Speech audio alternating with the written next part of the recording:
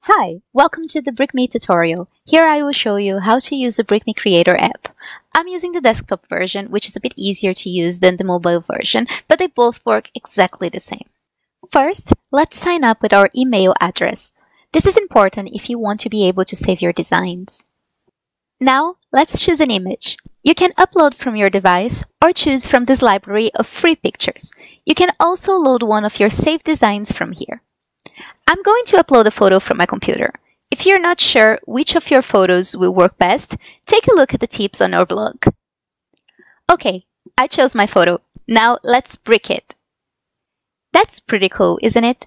Now we can start designing our brick pic. First up, we have the size, shape, and crop menu. In it, we have the base plate size and number of base plates, which determine the size of the picture, and the image zoom or crop slider. The base plates are the boards we put the bricks on. And we can see here that they come in two sizes. There's the large base plate, which is 32 by 32 dots, and the small base plate, which is 24 by 24 dots. You can check the actual measurements of the base plates in the tooltip right here. Now, as you can see here, when I change the base plate size, the image changes. That's because the size of the image has changed. You can see the total size of the picture right here at the bottom, and next to it, the price of your brick pic if you'd like to order it. Let's stay with the large base plates. Next, we have the number of base plates. Right now, our image has four base plates in a 2x2 configuration. You can also see the gray outlines on the image that indicate the base plate's borders. Let's take it up to 3x4 base plates. That looks much better, doesn't it? We now have a total of 12 base plates and the total size is 102 by 76 centimeters. Because the bricks stay the same size, when we increase the picture size, we increase its resolution, which makes it look better. Now we need to decide how we want to crop the image. Using this slider here, I can zoom in and clicking and dragging the image will move it around to where I want it. There, that looks good. Moving on, we have the image adjustments menu. Here, we can choose the colors or picture we'll use and adjust the image brightness, contrast, and saturation. Above this slider, you can see the image currently has 20 colors. Because I'm on auto mode, when I move the slider, the app will automatically add or remove colors based on the color's prevalence in the image. I can also manually select or deselect colors from the palette, which will put me in custom mode. As a general rule, it's better to keep the color count low without compromising on the quality of the image. The more colors you have, the harder it will be to build your brick pic.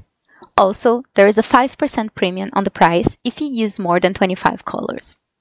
The palette shows which of the 50 available colors are currently being used.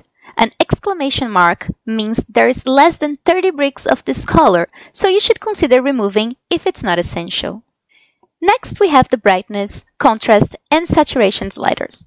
Contrast is set to 15 by default and saturation to 5.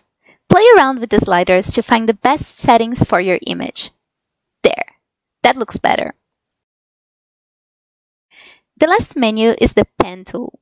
This tool lets you change the color of individual bricks.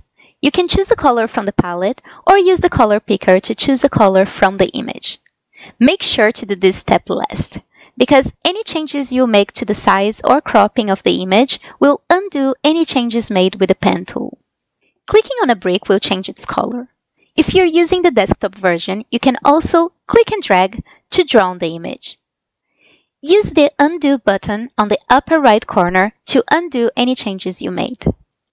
The slider on the bottom will zoom the image in or out, and this button next to it will put you in full screen mode. Once you're happy with the brick pic, click on the yellow button at the top that says Preview. Here in the Preview page, we preview the image, share it, and add some optional extras before ordering. We can also save a version of this design and compare with other versions. Just click on the Save and Compare button on the upper right corner, then click on Save this version. Now that this version is saved, you can go back to the editor by clicking on Back to Editor and make changes to the design. Let's try this now. Now I can compare versions of the same design and choose the one I like best. I'm gonna go with the first one. The Save Image File button lets you download the preview image to your device. You can then share it with your friends, post on social media, or even use it as your profile pic. Downloading the image is completely free. Above it, we can choose some optional extras for our brick pic. I can add a frame and choose if I want to get the brick pic assembled or if I'm happy to build it myself. I recommend building it yourself because it's a lot of fun to do. There are additional costs for these options, and you can see the full cost breakdown here at the bottom. When you decide you want to order, just click on the red Finish an Order button at the top, and then click Add to Cart. Now just click on Checkout, pay for your order, and prepare to receive your very own personalized brick mosaic. Thank you for watching the BrickMe Creator tutorial. Share with us your BrickMe creations on social media and check out other cool products at www.brick.me.